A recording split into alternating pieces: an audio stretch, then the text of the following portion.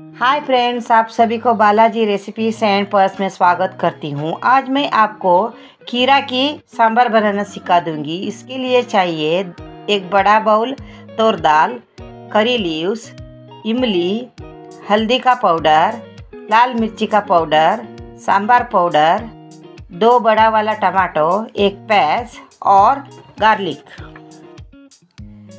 अब हम खीरे को बड़ा साइज़ में कट कर देते हैं।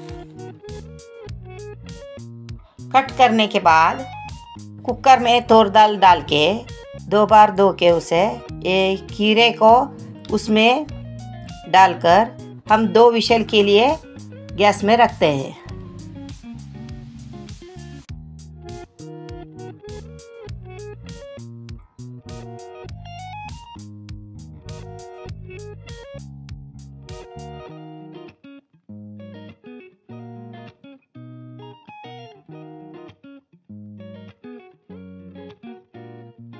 एक कढ़ाई लेकर उसमें तीन चार चम्मच तेल डालते हैं। उसमें मस्टर्ड सीड्स पटने के लिए डालते हैं।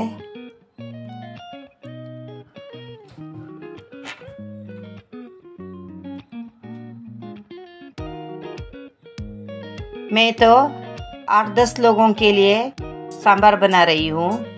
इसीलिए मैंने बड़ा वाला खीरा ले, लेकर इसमें डाल रही हूँ। थोड़ी सी मस्टर्ड सीड डाल रही हूँ।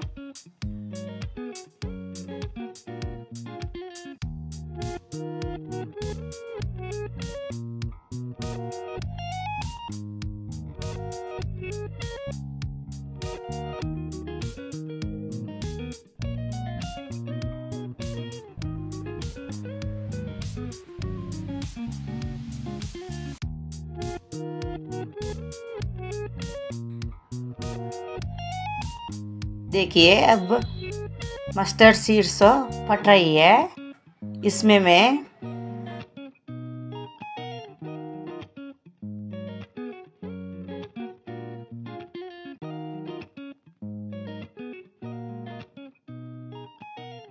देखिए, पहले मैं गार्लिक डाल रही हूँ। बाद में ऑनियन डाल रही हूँ। बाद में टमाटो को भी इसमें डालकर फ्राई करना है।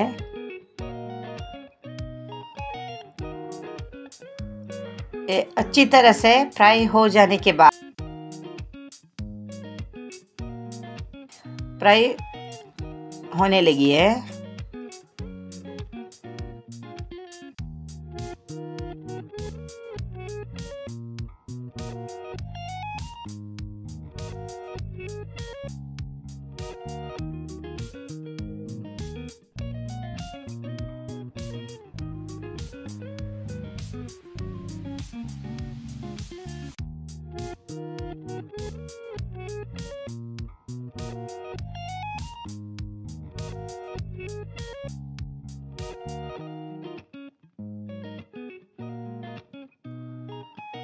थोड़ा सा पानी डाल के।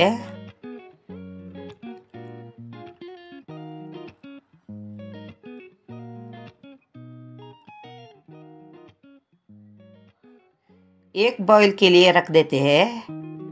बाद में इसमें हम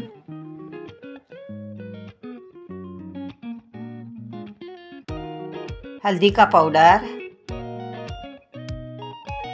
लाल मिर्ची का पाउडर, दो चम्मच।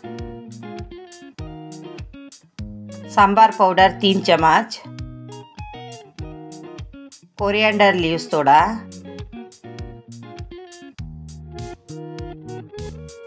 सबको अच्छी तरह से मिक्स कर देते हैं।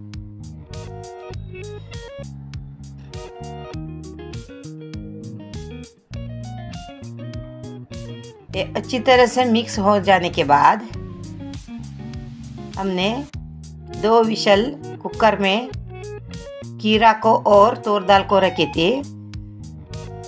उसको हम इस सांभर का मिश्रण में मिक्स कर देते हैं।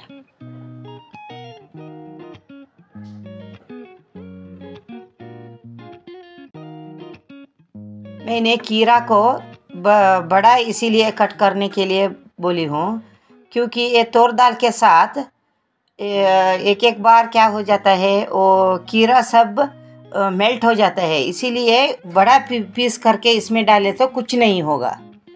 ये, वो वैसा ही रहता है।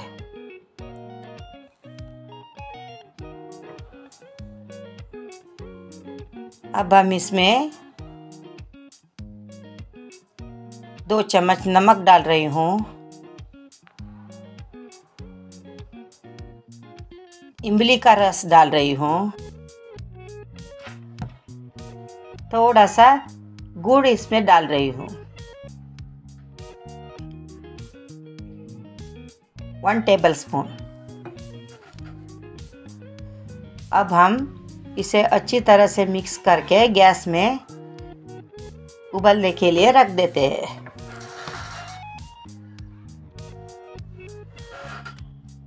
देखिए, अब सांभर तो अच्छी फ्लेवर से उबलने लगा है।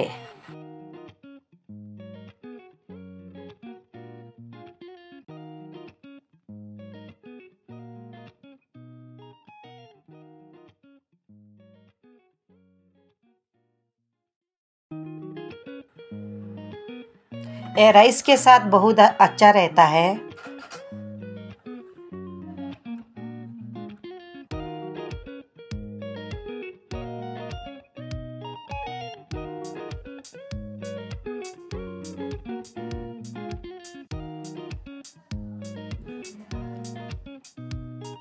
देखिए, अब मैं इसको सर्व करने वाली हूँ।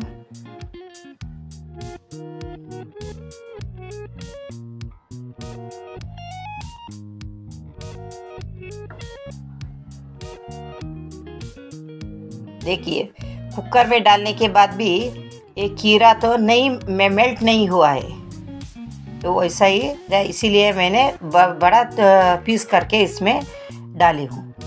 देखिए, अब मैं इसे सर्व करने वाली हूँ। ये राइस के साथ बहुत अच्छा कॉम्बिनेशन है।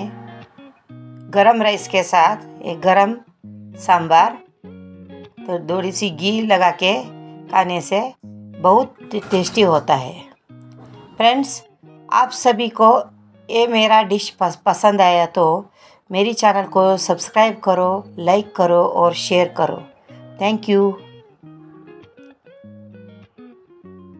देखिए अब मैं सांभार भी इधर डाल रही हूँ। ये देखिए।